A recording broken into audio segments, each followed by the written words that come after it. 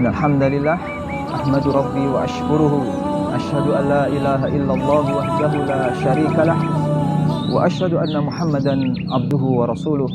أما بعد kaum muslimin di mana pun berada yang semoga senantiasa dirahmati oleh Allah subhanahu wa ta'ala.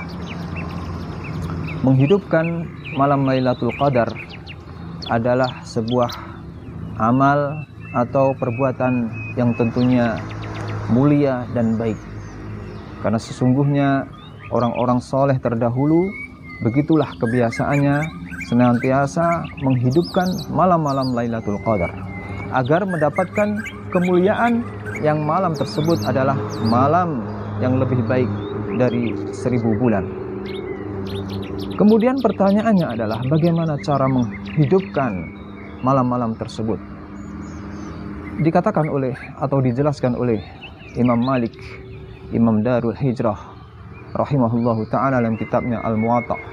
Beliau menukil pendapat salah seorang ulama tabi'in seorang fuqaha yang berasal dari kota Madinah, Ibnul Musayyib.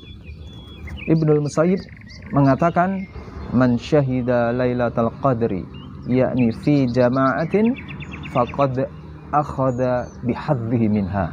Barang siapa yang telah melakukan solat berjamaah yang bertepatan pada malam Lailatul Qadar, maka sungguh dia telah mengambil bagian dari menghidupkan malam Lailatul Qadar tersebut.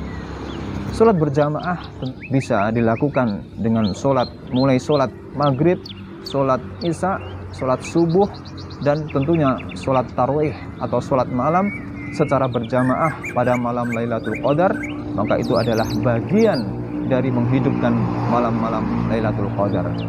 Meskipun tentunya menghidupkan malam Lailatul Qadar tidak hanya dengan ibadah sholat dengan berjamaah atau sholat yang lainnya akan tetapi juga bisa berzikir dan juga bisa melakukan sodakoh, infak dan juga membaca Al-Quran pada malam-malam tersebut semoga kita semuanya mendapatkan kemuliaan Lailatul Qadar pada Ramadan tahun ini.